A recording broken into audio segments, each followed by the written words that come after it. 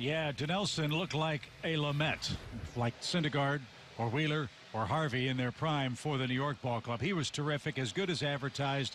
Uh, another outstanding start for him. He just handcuffed the Braves tonight with that fastball slider combination. Dinelson was demand was what he was tonight, and uh, completely controlled this ball game from the get-go.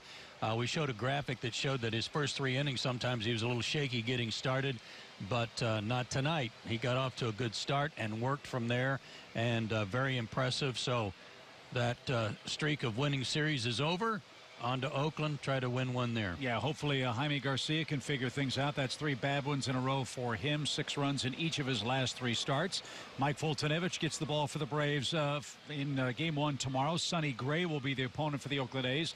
Mike, uh, as you know, has great strikeout stuff. Pitch counts have gotten him, though, in his last couple of outings. Well, and like Jaime, he's had a week off. He's had uh, an extra day or two of work of, of time to rest. That may work to his favor.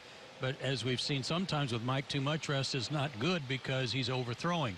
I hope that's not the case. We'll hope that uh, he can get this thing stopped and uh, at just a two-game losing streak uh, for, for right. crying out loud. It's not all that bad.